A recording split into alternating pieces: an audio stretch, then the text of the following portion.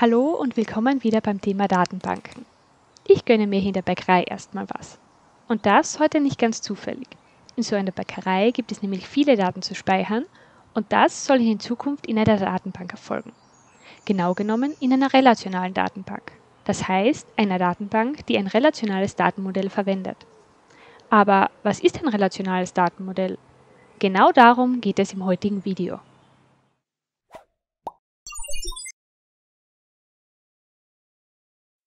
Wenn wir uns den Lebenszyklus einer Datenbank ansehen, befinden wir uns nach der Domänenanalyse und dem konzeptuellen Entwurf in der Phase des logischen Datenbankentwurfs. Die ersten beiden Phasen sind unabhängig von einem bestimmten Datenbankmanagementsystem. Beim logischen Datenbankentwurf spielt die geplante Datenbank jedoch eine Rolle. Dabei überführen wir nun ein vorliegendes semantisches Datenmodell in ein logisches Datenmodell und verwenden dabei die Regeln des geplanten Datenbankmanagementsystems. Doch worauf wird dabei überführt? Das relationale Datenmodell, auch Relationenmodell genannt, verwendet man genau dann als logisches Datenmodell, wenn ein relationales Datenbankmanagementsystem eingesetzt werden soll. Dabei ist es aber vorerst noch egal, welches Produkt das konkret sein wird. Aber was ist eigentlich ein Relationenmodell und wie ist eine Relation aufgebaut? Das Relationenmodell geht auf EF-Cod um 1970 zurück und ist die Grundlage für die meisten heute verwendeten Datenbanken. Beim Relationenmodell werden sogenannte Entitäten und zwischen ihnen bestehende Beziehungen in Form von mathematischen Relationen aufgeschrieben. Diese Relationen geben so den logischen Aufbau der späteren Datenbanktabellen an. Eine Relation entspricht dabei normalerweise genau einer späteren Tabelle. Sehen wir uns den Aufbau einer Relation einmal an einem Beispiel aus der Bäckereidomäne an. In der Bäckerei gibt es registrierte KundInnen. Daten zu ihnen sollen in der Datenbank abgespeichert werden. Hier sehen wir einen Ausschnitt dieser Daten.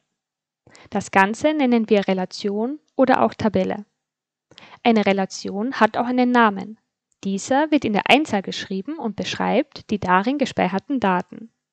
Bei uns speichern wir Daten über Kunden also ist der Relationen- bzw. Tabellenname Kunde. Eine Zeile der Relation heißt Tupel. Dieses Tupel hier enthält beispielsweise Daten über den Kunden Paul Steiner. Und jedes Tupel wird durch die Werte verschiedener Attribute beschrieben. Das sind die Spaltennamen. Die Attribute in unserem KundInnenbeispiel sind die Kunden-ID, der Vorname, der Nachname, das Geburtsdatum, die Straße, die Postleitzahl, der Ort, die E-Mail, die Telefonnummer und der Newsletter.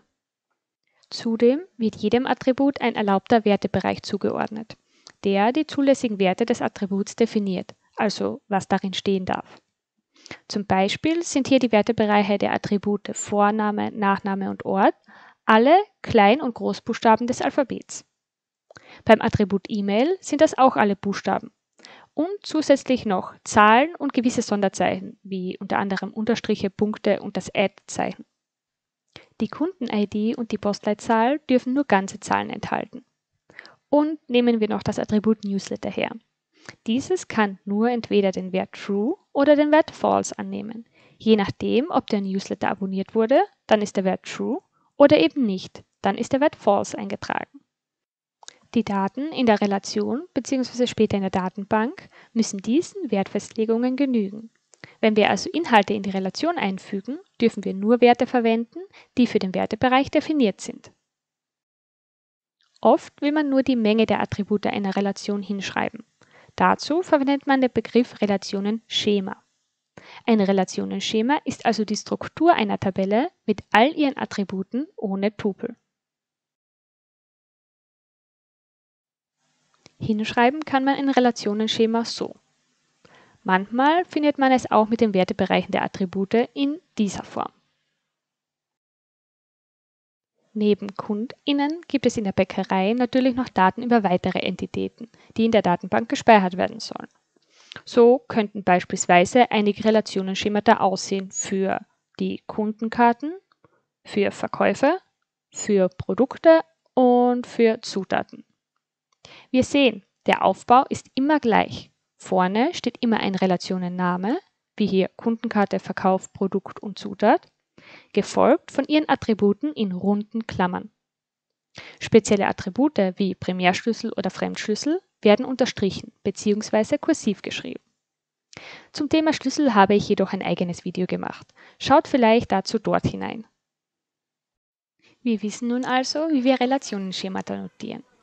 Nun aber wieder zu den Relationen, also den Tabellen. Wie wir gesehen haben, sind Relationen Mengen von Tupeln, also von Zeilen, wobei die einzelnen Tupel allein durch ihre Werte unterschieden werden.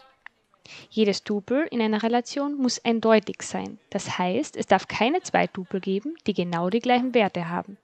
Im Zusammenhang mit dem Relationenmodell findet man auch die Begriffe Kardinalität und Grad. Sehen wir uns an, was diese bedeuten. Die Kardinalität gibt die Anzahl der Tupel in einer Relation an. Unsere Relation Kunde, hier einmal in Tabellenform und einmal als Relationenschema, hat im Moment die Kardinalität 4. Die Kardinalität ändert sich mit jedem hinzugefügten oder gelöschten Tupel. Der Grad ist die Anzahl der Attribute einer Relation. In unserem Beispiel hat die Relation Kunde also den Grad 10. Es kann übrigens auch Relationen mit nur einem Attribut, also mit Grad 1 geben. Jedoch kommt das selten vor. Manchmal kann es vorkommen, dass es bestimmte Daten gar nicht gibt oder wir diese nicht kennen. Dann sind die Daten in der Relation einfach unvollständig. Wie sieht das aus? Betrachten wir dafür in der Relation Kunde das Attribut E-Mail. Bei den KundInnen, die ihre E-Mail-Adresse bekannt gegeben haben, wird diese auch gespeichert. Doch was ist mit den E-Mail-Adressen von Pamela Weiß und Paul Steiner? Pamela Weiß ist eine sehr gute Stammkundin und ich weiß, dass sie gar keine E-Mail-Adresse hat. Auch Paul Steiner habe ich bereits hier getroffen und in einem Gespräch hat er mir erzählt, dass er seine E-Mail-Adresse nicht bekannt geben möchte. Bei solchen fehlenden Werten steht in der Relation immer der Wert null. Wie wir sehen, gibt es mehrere Gründe, warum Informationen in der Datenbank unvollständig sein können. Warum benötigen wir diesen speziellen Nullwert und können das Feld nicht einfach leer lassen oder eine Null oder eine leere Zeichenkette einfügen? Das können wir deshalb nicht machen, weil es möglicherweise gar keinen Wert im Wertebereich gibt, den wir nicht verwenden.